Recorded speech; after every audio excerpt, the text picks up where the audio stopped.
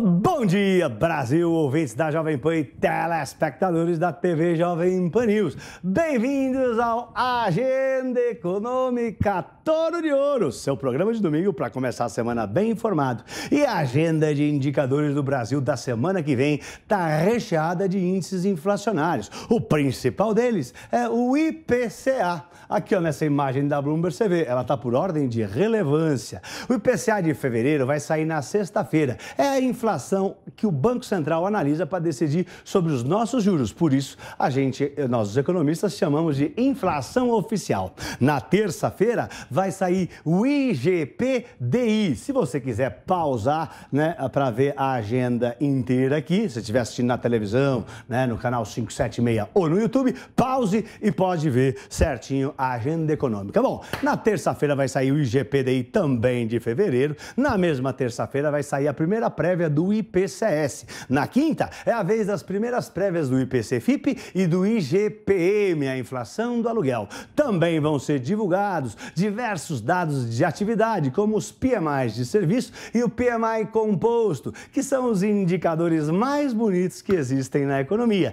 Eles medem as temperaturas do setor, o de serviço, e o da economia, o composto. São índices de difusão que vão de 0 a 100, abaixo de 50%, está esfriando acima acima de 50 está esquentando. A produção industrial de janeiro está prevista para sair na quarta-feira, enquanto as vendas no varejo né, vão sair no dia seguinte, quinta-feira. A produção de carros sai na terça e o fluxo cambial semanal na quarta. Sem esquecer o Boletim Fox, que sai todas as segundas-feiras e que já deve trazer as novas projeções para a inflação, para a Selic e até para o misterioso dólar que ninguém no mundo consegue antever. Quem diria, tá indo para baixo de cinco reais, hein? Tocou 4,99 semana passada, essa semana também tá rondando os cinco reais. E no meio de uma guerra, não é mesmo? Que estranho. Mas é porque tá entrando muito dinheiro no Brasil. Por último, mas não menos importante, estão programados os dados do CAGED, que são os dados do emprego com carteira assinada de janeiro, que vão ser divulgados quinta-feira. Além disso tudo, vai ser a semana dos balanços do quarto trimestre das varejistas que são muito aguardados, caíram muito, né? Os investidores estão apreensivos. Via, Magalu, Americanas, todas vão divulgar seus resultados semana que vem. CSN Pets também vão divulgar, vão soltar seus números semana que vem. O Senado prepara a votação dos projetos que pretendem derrubar um pouco o preço dos combustíveis. A gente viu o que aconteceu com o barril do petróleo, bateu 117 dólares semana passada. O petróleo está na lua. Na agenda americana, olha lá, a produção já botou aqui a imagem da Bloomberg com a agenda americana, né? Vão sair poucos, mas muito importantes indicadores, né? Vai sair, por exemplo, a inflação ao consumidor e os pedidos de seguro-desemprego, ambos na quinta-feira. Por lá, na terça-feira, está prevista a divulgação da balança comercial. Quarta-feira vão sair os pedidos de hipoteca e a criação de empregos altos. Essa imagem você também pode pausar e, e analisar tranquilamente na tua casa, no canal 576, na TV Jovem Pan News ou no nosso canal do YouTube. Quarta-feira começa começa o período de silêncio dos membros do Banco Central Americano, uma semana antes da reunião de juros, que é quarta-feira, dia 16.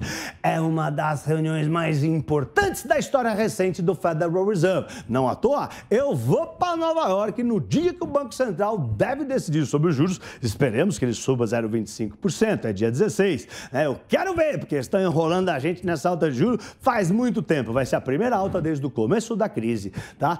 A agenda europeia também vai aparecer aqui na tela. Essa tá mais recheada do que as outras, pelo menos mais do que a americana. Quinta-feira é a decisão de juros do Banco Central Europeu, muito importante também.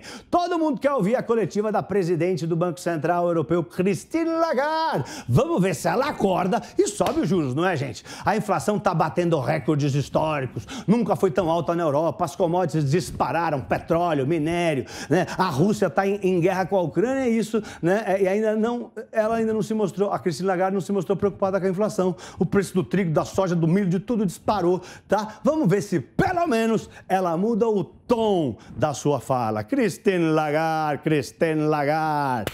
Temos que subir juro, Cristina Lagarde. Tem uma hora que chega a hora. Ó, vai também sair por lá o PIB do quarto trimestre da zona do euro na terça-feira, ah, mesmo dia em que a OCDE divulga as perspectivas econômicas globais. Na sexta-feira vai sair a importante inflação do consumidor alemão, que é a locomotiva da Europa, é a locomotiva da OTAN, não que é Estados Unidos, mas da comunidade europeia, sim. Na China, terça-feira à noite é dia de sair os dados da inflação ao consumidor e ao produtor de fevereiro. Obviamente, gente, que a guerra da Rússia contra a Ucrânia vai continuar dominando os sentimentos e os olhares de todos os investidores. Ah, e na Rússia, em Moscou, as bolsas ficam fechadas até terça-feira, dia 8, o que despertou uma esperança, pelo menos em mim, de que a guerra pode estar perto do fim. Afinal, por que, que eles vão reabrir a bolsa no meio da guerra se eles estão fechando a bolsa durante a guerra? Bom, sei lá, vamos torcer, estamos todos rezando que Deus abençoe a Europa. E se você se interessa pelos indicadores econômicos que a gente cobre aqui no Agenda Econômica e como eles pressionam as marés dos mercados, como mexem na bolsa, no dólar e nos juros. Invista no melhor curso de indicadores econômicos do Brasil, o curso Toro de Ouro. Acesse a newcursos.com.br, use o voucher de desconto Agenda e compre o curso Toro de Ouro em 12 vezes sem juros de menos de 75 reais por mês. N I U cursos.com.br.